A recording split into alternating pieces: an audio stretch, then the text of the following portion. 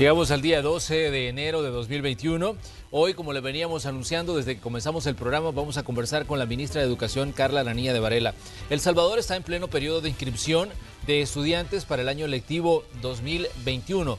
Todos estamos plenamente conscientes de que este será un año que va a comenzar pues con una serie de irregularidades debido pues a la situación de emergencia sanitaria que todavía estamos enfrentando. Se había dicho que iba a ser un año de clases semipresenciales, pero las evaluaciones que ha hecho el Ministerio de Salud indican que esto no va a ser posible ante el incremento de casos de COVID-19 para muchos padres de familia. Esto es un alivio porque estaban pues con la desconfianza de mandar a sus hijos todavía en medio de esta situación de emergencia sanitaria.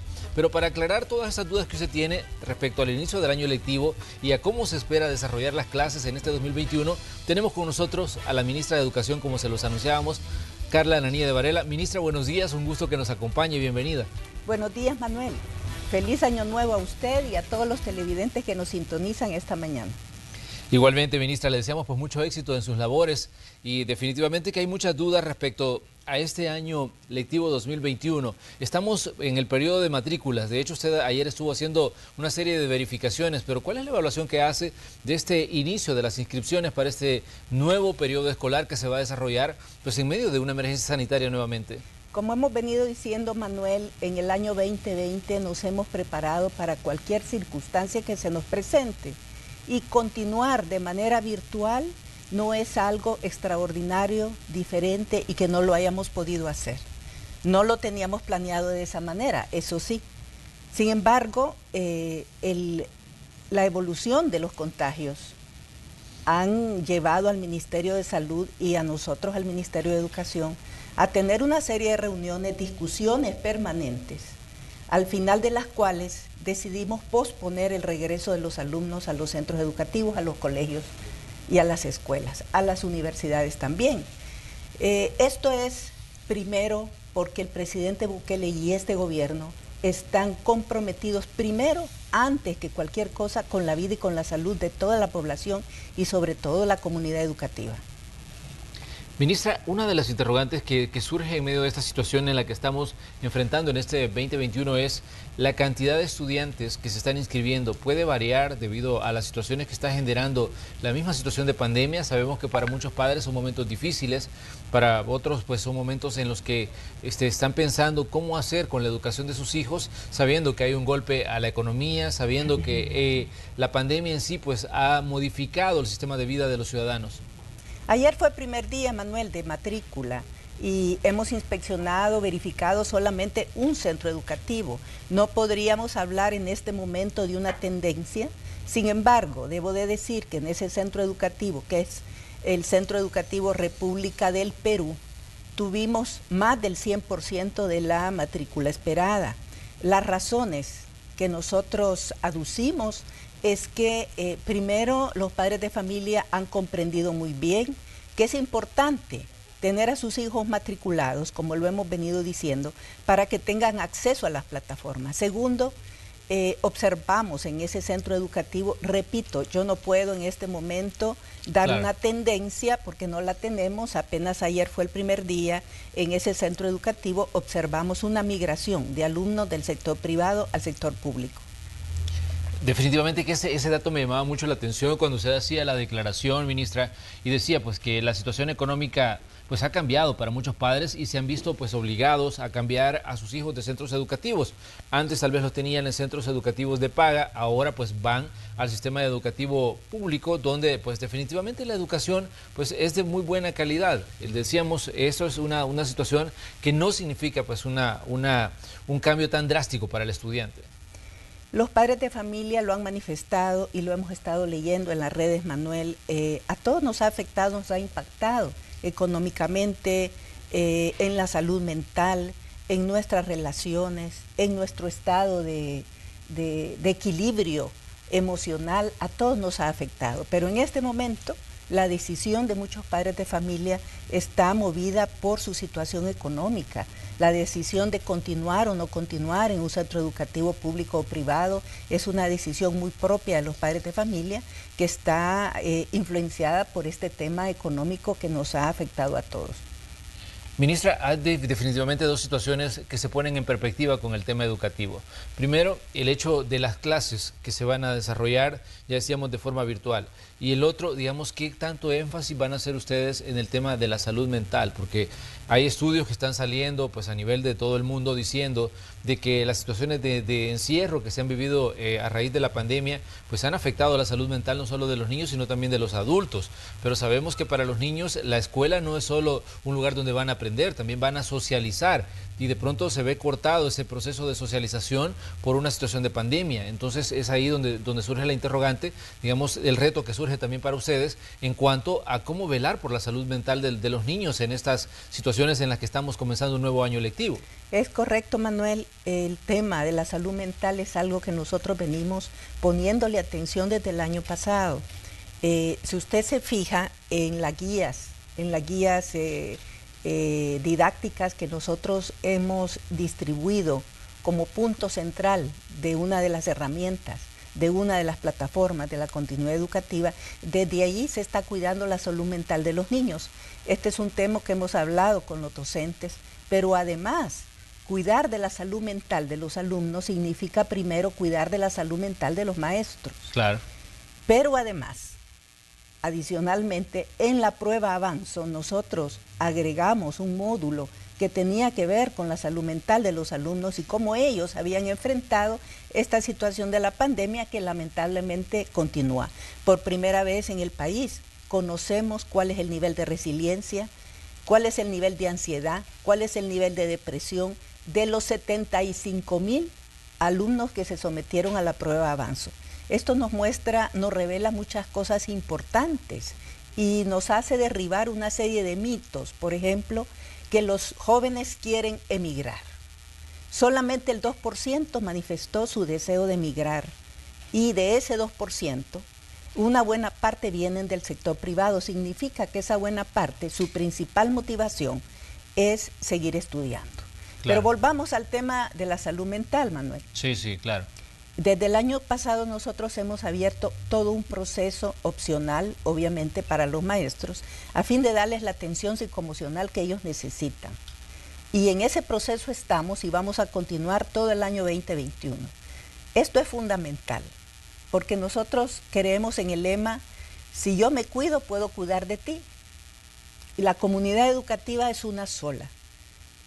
En la salud mental del niño impacta la cohesión familiar, la armonía en la casa, la salud mental y el equilibrio del maestro, el nivel y la calidad de la comunicación que tienen los maestros con los niños. Yo ayer en, la, en el Centro Educativo República del Perú conversaba con todo el personal docente y les mencionaba, les decía la importancia de la comunicación, de una comunicación empática, sobre todo en este momento. Claro. Donde para el alumno es muy importante ver el rostro de su maestra, de su maestro en la pantalla, en la pantalla de su computadora, en la pantalla de su teléfono, escuchar su voz. Eso es importantísimo. Primero la empatía y segundo el tema de la educación de calidad. Ministra, ¿cuál es el compromiso que esperan ustedes también de los, de los padres? Porque el año pasado uno de los puntos de los que conversamos en diversos momentos con usted fue de que para muchos padres había sido, digamos, un tanto contraproducente el hecho de, que antes iban, dejaban a los niños en las escuelas o en los colegios y les pasaban a recoger cuando el, el periodo había terminado, pero ahora pues ellos tienen que ser testigos del proceso de aprendizaje y tienen que estar pendientes de lo que sus hijos están haciendo a través de las pantallas, ya sea del teléfono o de la computadora. Yo creo, Manuel, que eh, en el año pasado todos hemos aprendido, incluyendo los padres de familia. Es importante, ahora sabemos que esa trilogía padre de familia, maestro, alumno es fundamental. Los padres de familia han aprendido que su comunicación con el maestro en tiempos de pandemia es crucial. De eso depende que el niño, que su hijo avance.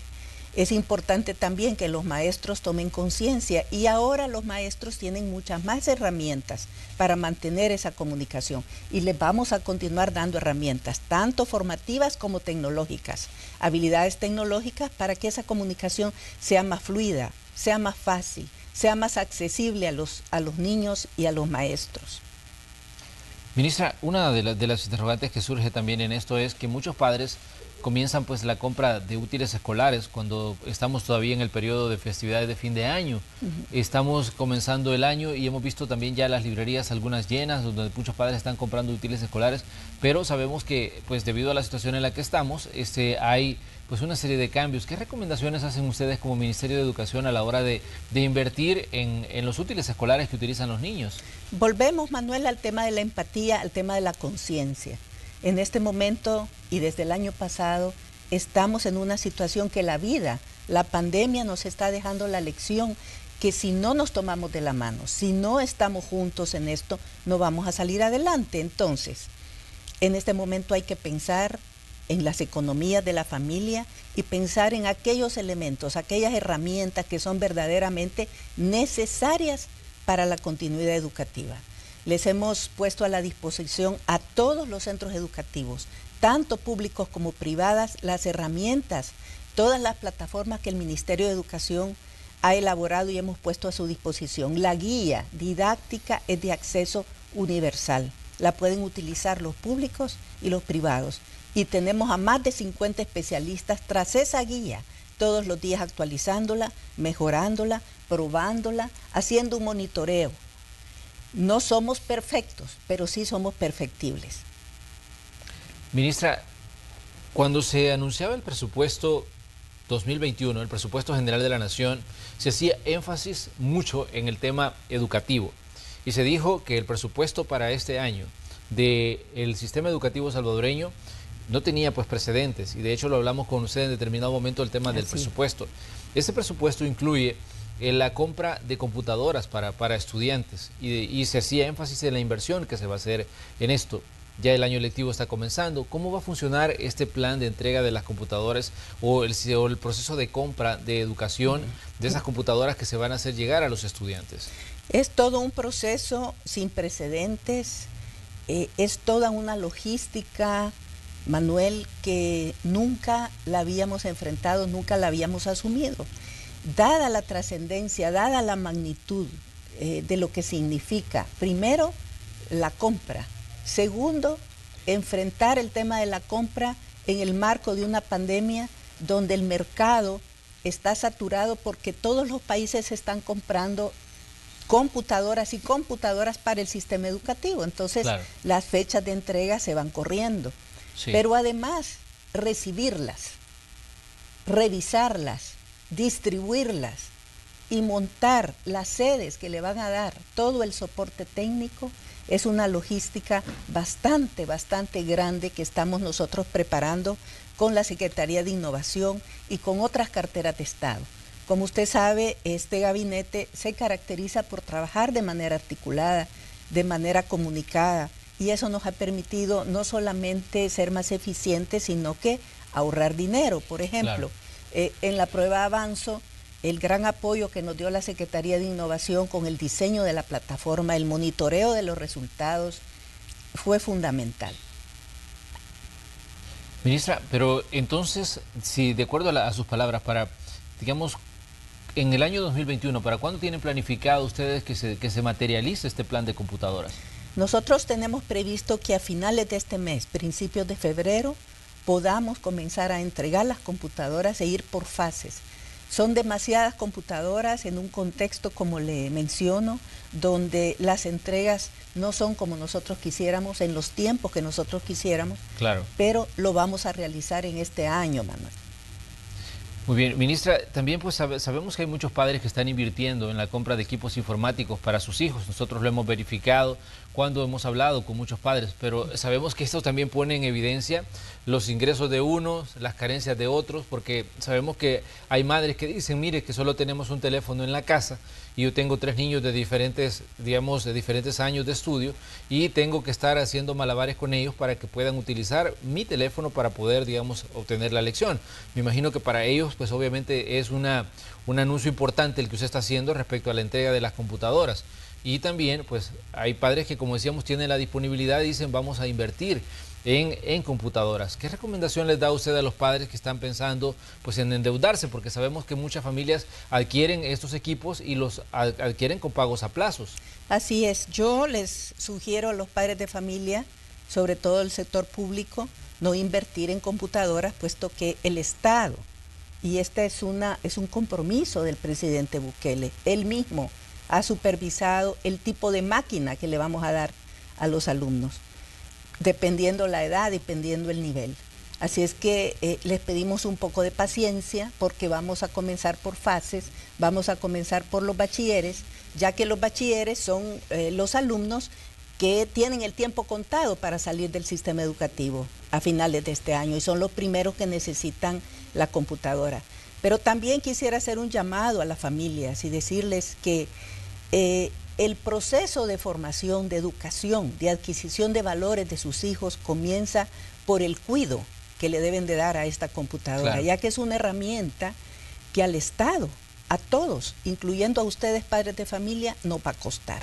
Y sus hijos y ustedes tienen que hacer un cuido adecuado de esa herramienta, que ojalá que cuando su hijo cambie de nivel educativo le sirva a otro niño. Tenemos que adquirir esa conciencia para poder cuidar y optimizar esa gran inversión que el Estado va a hacer en todos sus, en todos sus niños.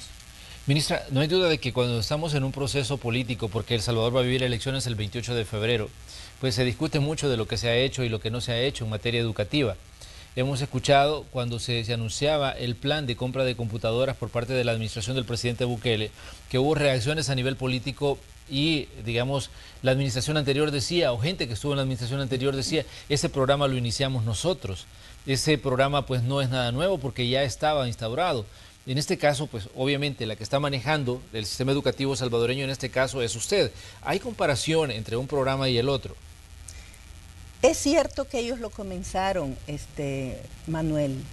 Y esto veámoslo como una política pública que siempre es mejorable. ¿Qué fue lo que nosotros encontramos?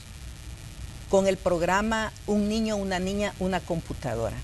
Encontramos dispersión, no encontramos una política, una política coherente que articulase, por ejemplo, la conectividad con la herramienta de la computadora.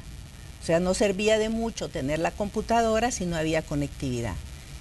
El otro tema que encontramos fue que se habían repartido, se habían entregado diferentes tipos de computadoras. Claro y era muy difícil, o es, sigue siendo muy difícil gestionar una política dispersa de esta naturaleza, ¿verdad? O sea, se, recibía una donación de China eh, de 15 mil computadoras, se entregaban, eh, era un tipo de computadora, después se recibían las lempitas, después se recibía otra donación de no sé cuántas computadoras. No había una, una coherencia una articulación, una política única para todo el país. Ahora sí la tenemos y va de la mano con la conectividad, porque lo primero que se dijo fue cómo que ustedes van a entregar una computadora si no van a entregar conectividad. Y no nos habían preguntado cuál era la política de cierre de la brecha tecnológica. El cierre de la brecha tecnológica no significa solamente entregar una computadora, tiene que haber un proceso de formación el cual lo estamos diseñando y ya lo iniciamos desde el año pasado de la mano con la Secretaría de Innovación. Y por cierto, con una respuesta muy buena de parte de los maestros.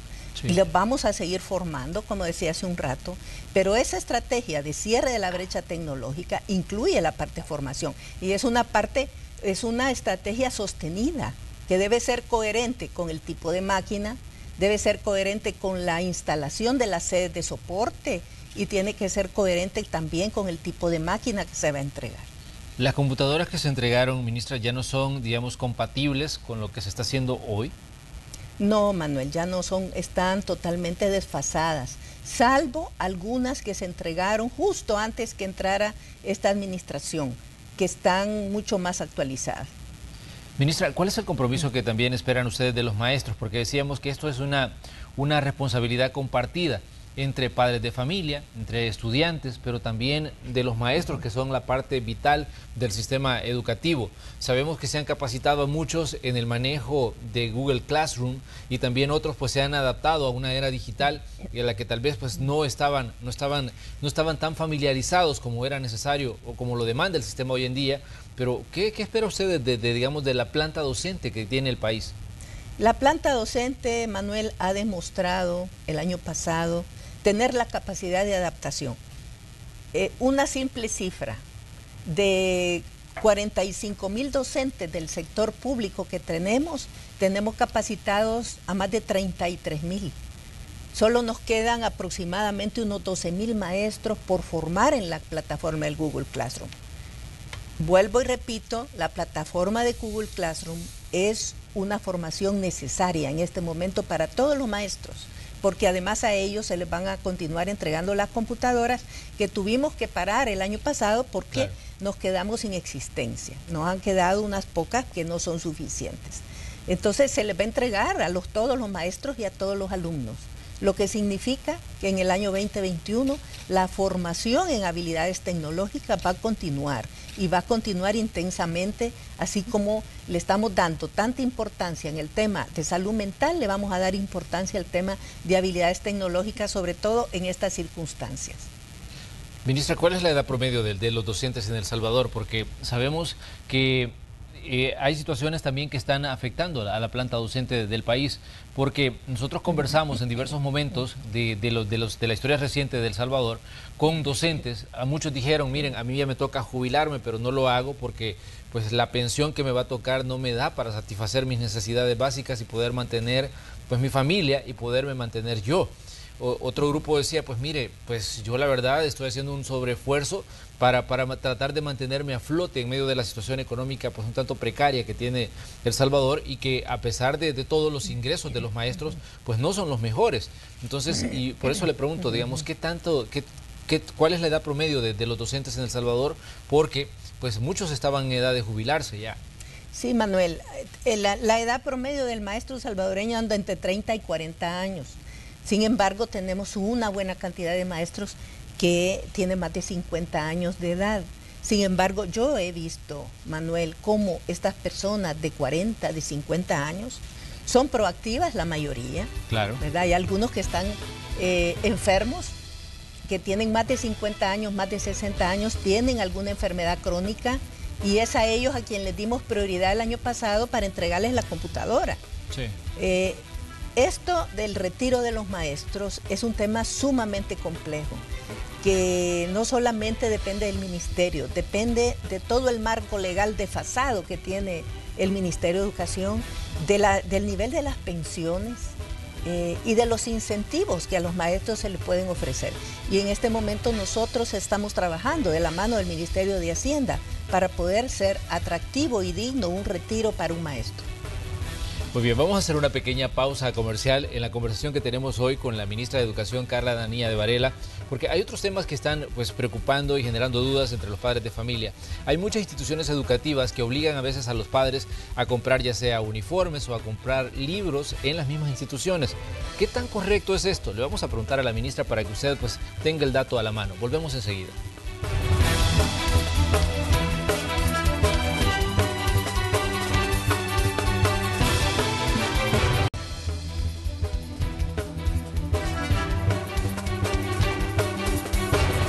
Gracias por sintonizar Hechos AM en esta mañana de 12 de enero de 2021. Hoy en el espacio de la entrevista estamos conversando con la ministra de Educación Carla Lanilla de Varela sobre temas relacionados con la educación en El Salvador. Sabemos que estamos comenzando o a punto de comenzar un nuevo año lectivo y se va a hacer en medio de la pandemia con clases virtuales, pero hay elementos que usted debe conocer y que debe tener pues muy presentes. Decíamos cuando nos íbamos a la pausa que hay instituciones educativas que obligan a los padres a comprar ya sea uniformes o comprar material escolar dentro de las mismas instituciones. ¿Es esto correcto? ¿Es permitido o no?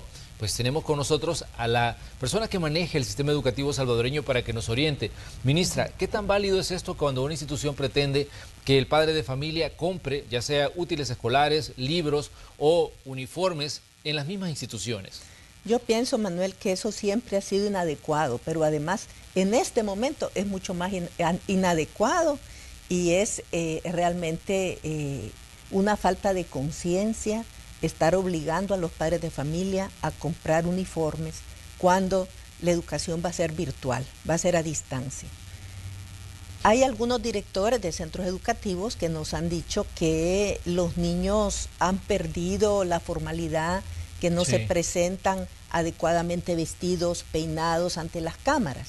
Yo pienso que este es un tema importante que se puede resolver sin la necesidad del uniforme, ¿verdad? Porque eh, usted le puede decir, mire, usted está en una clase, está en un aula y si usted se quiere presentar, pues bañese, peínese y vístase adecuadamente. Yo no lo puedo recibir aquí en pijama.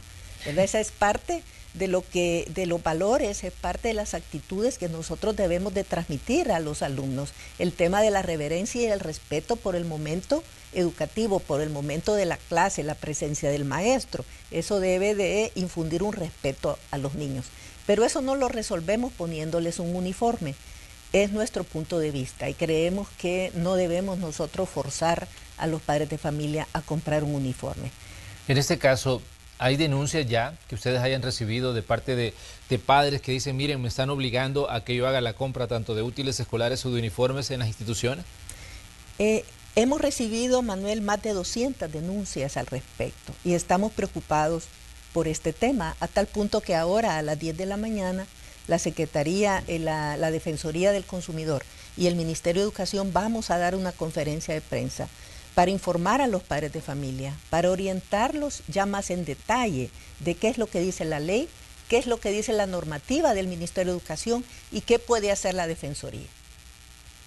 Muy bien, porque seguramente pues esto es preocupación para, para muchos padres, porque definitivamente decíamos y hablábamos en el segmento anterior de que la situación económica no está pasando por un buen momento y que de pronto se tiene que incurrir en ese tipo de gastos, obviamente significa otra carga para ya pues la pesada carga que llevan los padres a la hora de mantenerse a flote en medio de esta situación de emergencia. Adicionalmente, Manuel, precisamente yo quisiera darles a los padres de familia los teléfonos de nuestro call center para que ellos puedan hacer cualquier consulta, cualquier denuncia, cualquier pregunta. Estamos a la disposición las 24 horas en el 2592 2009 y el 6008 3286.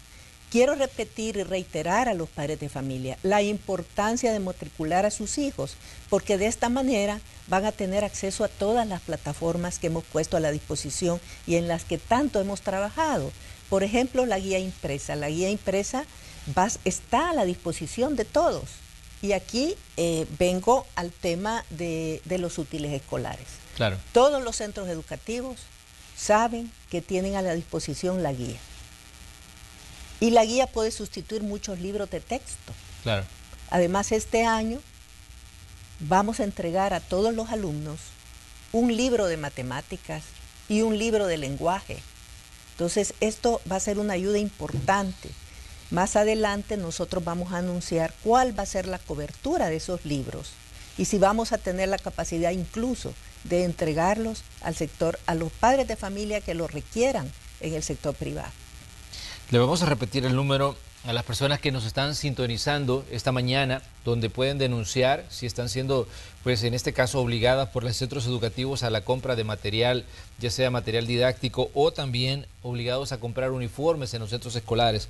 2592-2009 es el número que ha dado la ministra de Educación para que usted pueda presentar su queja, plantear cuál es el problema que está enfrentando. Seguramente pues ahí le van a dar la orientación, en este caso, ministra, para que las personas puedan pues deducir qué es lo que está ocurriendo y ver si efectivamente se trata de un abuso del centro educativo hacia, en este caso, el padre de familia.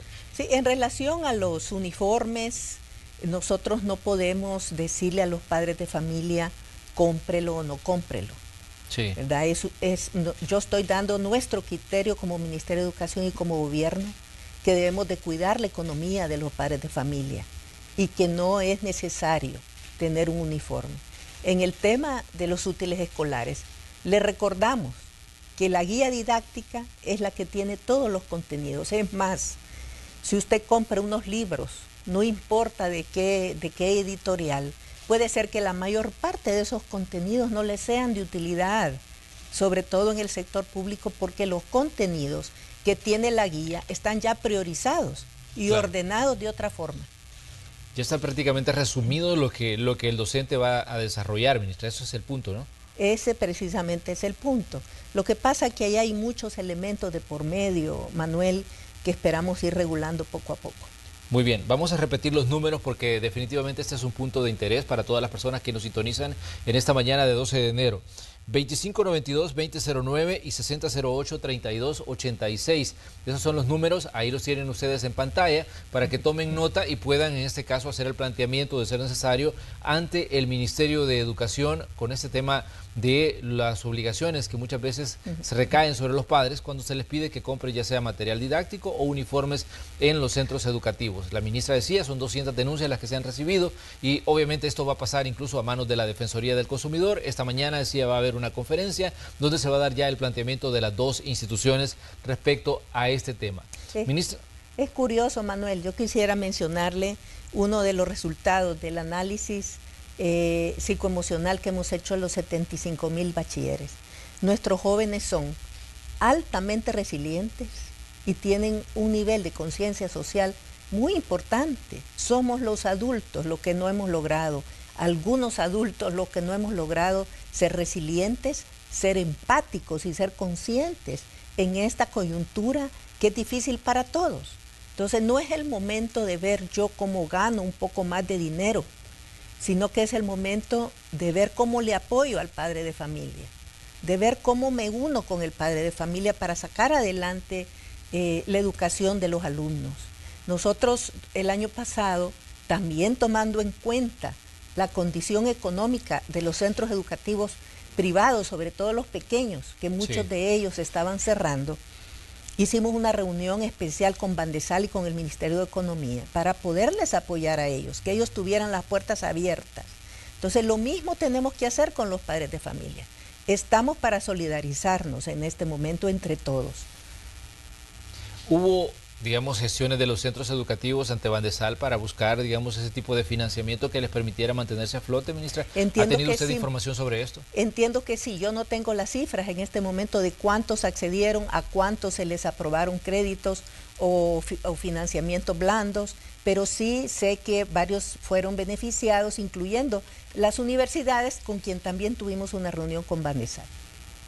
Ministra, ¿cuál es el, digamos, el proceso de que se va a llevar este año para la capacitación de maestros en este nuevo sistema, en el manejo de este nuevo sistema que implica pues, el tener equipo informático y dar clases a través de, la forma virtual? El proceso de, formación de maestros inició el año pasado y continúa. La plataforma de Google Classroom, como le decía, todavía tenemos aproximadamente unos 12 eh, mil maestros del sector público a quien les hago el llamado de inscribirse para en la, próximo, en la próxima convocatoria que vamos a hacer y alrededor de 3 mil del sector público, del sector privado. O sea, nuestra, nuestra oferta es tanto para el sector público como para el sector privado. No estamos haciendo diferencias, Manuel, en ese, en ese sentido porque el, el Salvador tiene un solo sistema educativo y hay que apostarle a todo el sistema educativo, ya sea de carácter público o de carácter privado. Por eso hemos abierto la formación a todos y la vamos a seguir abriendo. Este año que viene vamos a continuar, vamos a finalizar con, con, el Google Classroom, sin embargo, este va a estar abierto para todos aquellos que sí lo necesiten y vamos a dar otro tipo de formaciones en habilidades tecnológicas que pronto van a ser anunciadas en el calendario de formación. En el protocolo que habíamos preparado para el regreso a clase, un protocolo que hemos discutido por meses con el Ministerio de Salud, con otras carteras de Estado, con el Ministerio de Trabajo, teníamos previsto que en este mes de enero íbamos a comenzar la formación a los maestros en la evaluación de la condición socioemocional de los niños que están en las aulas. Porque así como lo hicimos con los bachilleres, era importante y sigue siendo importante conocer cuál es la condición eh, de salud mental de los niños. No es lo mismo un bachiller que tiene eh, muchas más herramientas, posibilidades de comunicación, de relacionamiento con, los, con sus pares que los niños más pequeños. Entonces necesitábamos formar a los maestros y para esto ya nos estamos organizando con varios socios, que nos, algunos de ellos nos ayudaron con la prueba de avanzo, para poder darle esa formación a los maestros. Además, luego de eso, venía la formación en todas las modalidades que íbamos a utilizar para nivelar a los alumnos. Íbamos a evaluar cuáles habían sido los niveles de aprendizaje de los alumnos eh, a través de las diferentes plataformas y tener, por ejemplo, eh, catalogados aquellos alumnos que habían tenido un aprendizaje aceptable y aquellos que necesitaban la aplicación de una modalidad para su eh, nivelación educativa. Eso era lo que teníamos planeado durante enero y febrero. Lo vamos a continuar porque el regreso a clase sigue siendo incierto. No sabemos, por ejemplo, si vamos a regresar en el mes de marzo, en el mes de abril, pero tenemos que estar preparados para eso. Ministra, ¿qué dice usted de los padres de familia que todavía dudan de la educación virtual? Porque nosotros hacíamos un sondeo con muchos padres y les preguntábamos sobre qué pensaban de que los niños recibieran clases una vez más de forma virtual. Algunos decían, mire, yo no sé si el niño va a aprender, no sé si esto va a funcionar, pero lo importante es que el niño se mantenga entretenido, decían algunos, algunos de los, de los, de los padres a los que les preguntamos, pero Obviamente eh, usted como, como, en este caso, como cabeza del Ministerio de Educación, pues tiene su propia evaluación de la educación virtual que ahora pues en el mundo, incluso las maestrías, los posgrados, se imparten de forma virtual. No necesariamente la persona tiene que viajar, digamos, a, un lugar físico para, para recibir, digamos, una capacitación. Mire, aquí influyen dos elementos, Manuel. Primero, eh, nuestra capacidad de adaptación al cambio, que siempre hay una resistencia. Y segundo, yo pregunto, ¿qué opción tenemos en este momento? Nuestro planteamiento era regresar a las clases semipresenciales. Incluso algunos colegios privados habían decidido continuar con la virtualidad al menos el primer trimestre. Bueno, era una decisión de ellos. Obviamente, la enseñanza presencial nunca va a sustituir a la virtual. Nunca la va a sustituir, al menos en ciertos métodos, ciertos niveles, como las carreras universitarias, las maestrías a distancia, que incluso algunas de ellas tienen eh, semipresencialidad. Pero en este momento en que nos enfrentamos a una situación de tener que poner en la balanza la vida, la salud y en la otra parte de la balanza la, la educación, qué es lo que se puede recuperar y qué es lo que no se puede recuperar. La vida no se puede recuperar. Y esta es una disyuntiva que vive el mundo, no solamente El Salvador. Lo que sí le tengo que decir, Manuel, que desde el Ministerio de Educación nosotros estamos haciendo todo lo mejor que podemos, todo lo mejor que podemos articular con otras carteras de Estado para poderle ofrecer a nuestros alumnos y a las familias las mejores plataformas, las mejores herramientas para poder enfrentar juntos, esto es bien importante, juntos esta situación totalmente extraordinaria. Muy bien, ministra, le queremos agradecer que nos haya visitado en esta mañana para darnos pues información de primera mano sobre el tema educativo. Sabemos que son muchos los padres de familia que están a la expectativa de cada anuncio que hacen ustedes como Ministerio de Educación, de cada aspecto que está relacionado con la educación de los niños en este periodo extraordinario que estamos viviendo, en esta nueva normalidad, como se ha llamado, pues esto de, de tratar de desarrollar actividades en medio de una situación de emergencia sanitaria. Muchísimas gracias, ministra. Le deseamos pues éxitos en sus labores. Muchas gracias. Manuel. Pronto anunciaremos para que los padres de familia estén atentos el lanzamiento de otras herramientas como la radio, por ejemplo. Claro. El año pasado nos, limitamos a primera infancia, pero este año eh, sus hijos van a poder aprender también a través de la radio, eh, complementado con la televisión, la plataforma de Google Classroom y las guías impresas. Muy bien, ministra, vamos a estar pendientes de la información y le vamos a invitar, por supuesto, para que venga a conversar con nosotros sobre cómo se va a desarrollar este, esta nueva modalidad y estas nuevas herramientas que se van a poner en marcha para poder pues, educar en medio de esta situación de emergencia. Muchas gracias. A la orden. Vamos nosotros a una pequeña pausa comercial y cuando regresemos más de Noticiero Hechos, continúe con nosotros.